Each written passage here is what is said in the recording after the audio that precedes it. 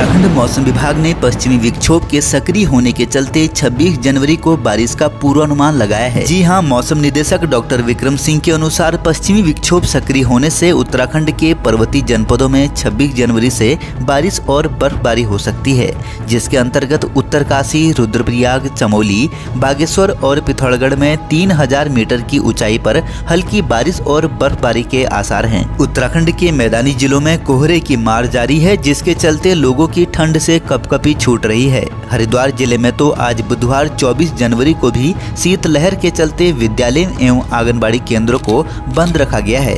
वहीं चंपावत ज़िले के अंतर्गत मैदानी इलाकों में 25 जनवरी तक विद्यालयों में अवकाश रहेगा। उत्तराखंड में शुष्क मौसम के बीच कड़ाके की ठंड जारी है। पर्वतीय क्षेत्रों में पाला गिरने से सुबह शाम हाड़ कपाने वाली ठंड पड़ रही है।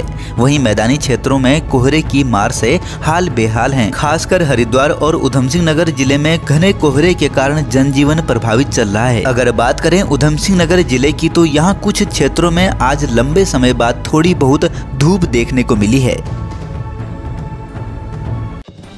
बने रहिए पहाड़ से मैदान की हर खबर के लिए देवभूमि दर्शन के साथ।